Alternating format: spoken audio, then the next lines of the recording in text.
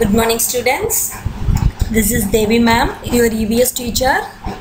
Welcome to today's section. Yesterday we have discussed about solid, liquid and gases lesson, right? And today we will see about what are the separations of substance. So, in the previous class what we have seen? What do you mean by the soluble and the insoluble substance? Right? What do you mean by the miscible and the immiscible liquids? And today we will see how we can able to separate these substance. Okay?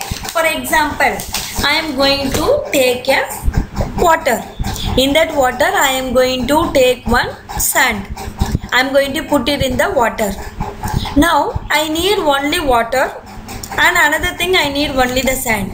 How I can able to separate this one, right? Can able to understand? So for example, another easy example I am telling. Now we are making the tea, right? For making the tea, what we are going to put? We are going to add the milk. We are going to put the tea leaves and we are going to add the sugar.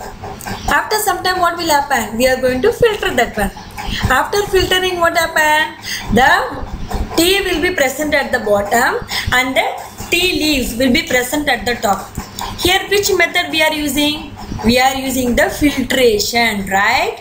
By using the filtration, the tea will be separated at the bottom and the tea leaves will be separated at the top. So like that, what are the different separation methods that we are going to see in this session, okay?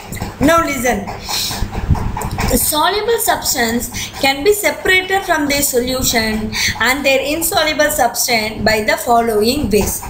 So what first what is the soluble substance? The substance which are dissolved in water. Okay, the substance which are dissolved in the water, it is called as a soluble substance. So first method we are going to use, it is called as a heating method. Okay, soluble substance can be separated from their solution by heating method. So first what I have seen, I have told one example, right? Sugar solution. Take some sugar and put it in the water. The sugar solution is made. Now I need only the sugar. Because the sugar is dissolved in the water, right? Now I need only the sugar. How I can able to get? For example, sugar can be separated from the sugar solution by heating method. So now take that sugar solution and put it in the pan. Now heat that one. After heating what happened? The water present in the sugar solution, it is converted into the steam. And at the bottom of the pan, you can able to see the sugar particles. Can able to understand students? I am repeating again separation of the substance. When the two substance mixed together, it is called as a soluble substance. How I can able to separate them? By using some of the methods. First method, it is heating method. That is a separation for the soluble substance. For example, take a sugar, put it in the water, mix well. Now what happened? The sugar will be completely mixed in the water. Now I need only the sugar. I don't want water. Which method I can use? The method, it is called as a heating method. Now take the sugar solution, heat that one. After heating what will happen? The water will be evaporated and the sugar particles will be settled at the bottom. Okay, the water is changed into the steam and the sugar will be settled at the bottom. It is called as a heating method. So next one, it is called as a filtration method. Okay? So filtration method it comes under the insoluble substance. What do you mean by insoluble substance? The substance which do not mix with each other.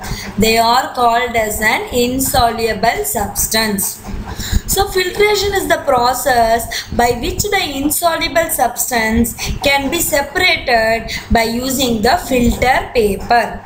Now everyone come to the page number 46. You can able to see the filter paper, right? So filter paper is a special paper. Inside the filter paper, so many tiny holes will be present there. Only the liquid can pass the solid will be settled at the top. Now what the example they are taking? Take an example of mixture of sand.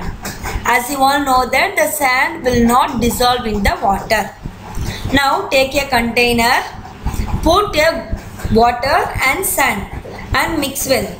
After some time what you are going to do? Take a funnel. In that funnel put the filter paper. Now slowly pour that water. What will happen?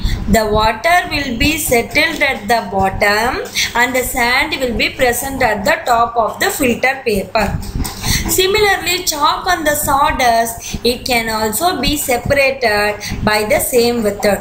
So you don't worry, once the school is open, we will you see some activity. Okay, regarding this chapter, we will see some activity.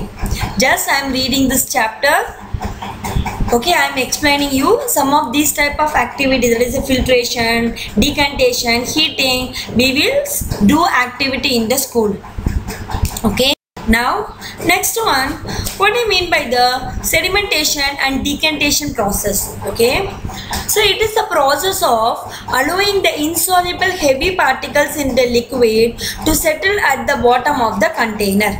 Now, what they are telling here, the same only. Take a jar.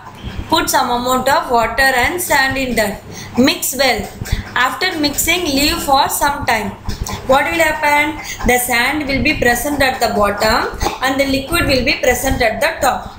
Okay. So the clear liquid at the top of the container it is separated right without disturbing. So this process it is called as a decantation process. So let us see some activity. What is sedimentation and decantation? Okay. So activity to observe the process of sedimentation, what are the things we needed? Two transparent glasses, some soil or sand, a spoon and a water. What you have to do? Take a glass of water and add some soil on it. What will happen? The water is a solvent and sand is a solute but the sand will not dissolve in the water right stir with the help of the spoon and leave it disturbed for some hours after some time what will happen?